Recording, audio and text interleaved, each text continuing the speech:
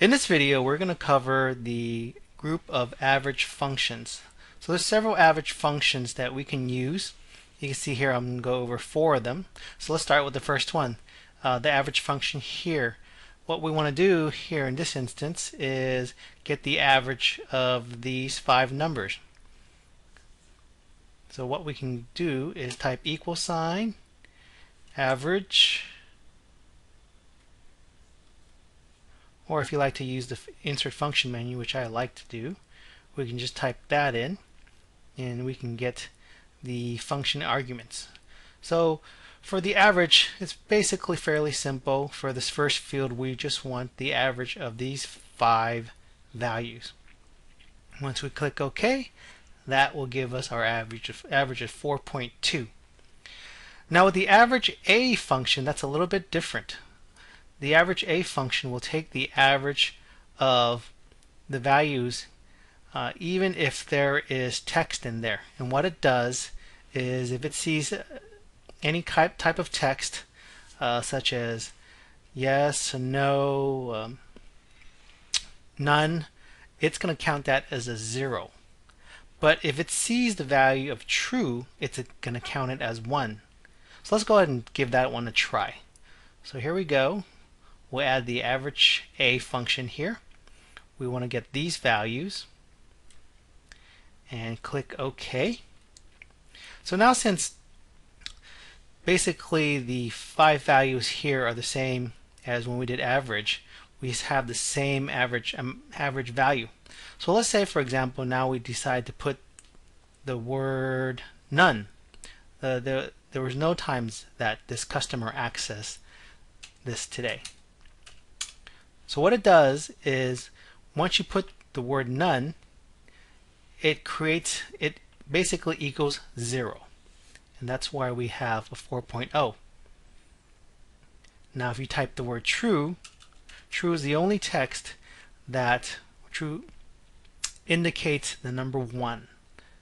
And if you see true, it becomes 4.2. So that's like as before we had the number 1.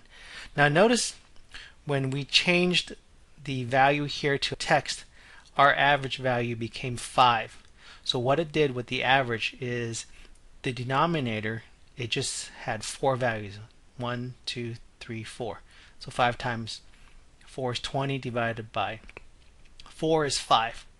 Whereas we had the average A value, which is this 20 plus true which equals the number 1 makes it 21 divided by 5 so there's because there's five values to divide it by. So we can look at it this way. The average was 24 equals 20 divided by this value. That gives us our 5 and since we had 21 here and we used all 5 for the denominator and we divide that by that. Gives us a 4.2 so again why would we want to use average A? So say for example we had instances where we had the numbers of the times access was 5 4 and sometimes we don't have the, the number 0 sometimes people put none or no. And basically we wanted to count that as a 0 and what my, what Excel does is it does indicate that that text is a zero. So there's instances where you want to use average A um, in area in times where you have a range and instead of a zero you see none or no and that actually would calculate the average correctly.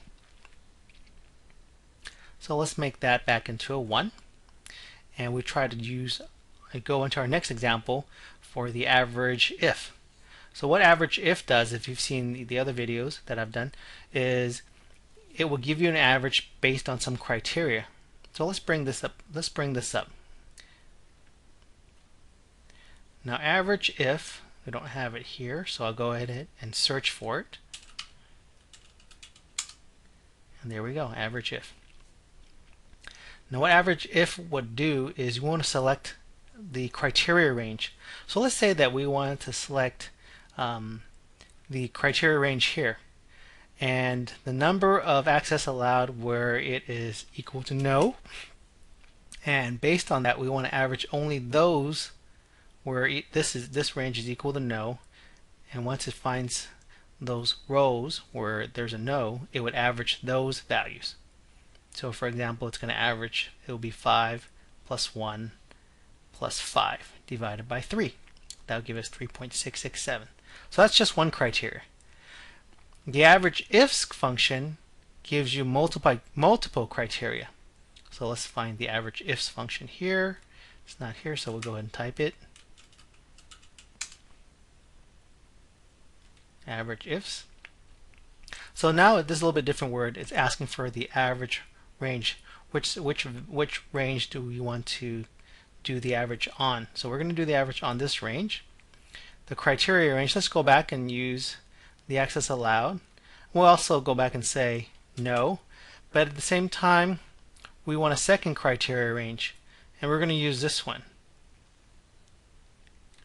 And let's just say the second criteria range we want to find the average of the values which have no in the access allowed and the access level we have as standard. So what it's going to do is it's going to average these two, these these two. 6 divided by 2 is 3. So that gives us our average ifs. So here are some examples of the different average functions you can use in Excel 2007. Hope this helps. Thanks for watching.